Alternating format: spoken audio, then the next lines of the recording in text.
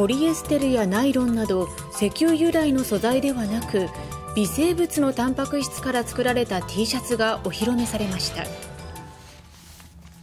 こちらの新素材が使われている T シャツ触り心地は非常に滑らかでしっとりとした感じがします。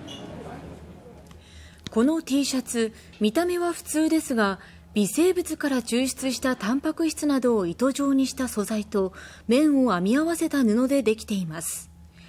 人工雲の糸も手掛けるベンチャー企業が開発しました。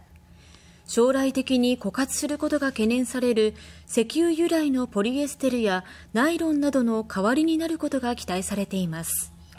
T シャツは1着2万5000円ですが新たな工場を稼働させて価格も下げる方針です。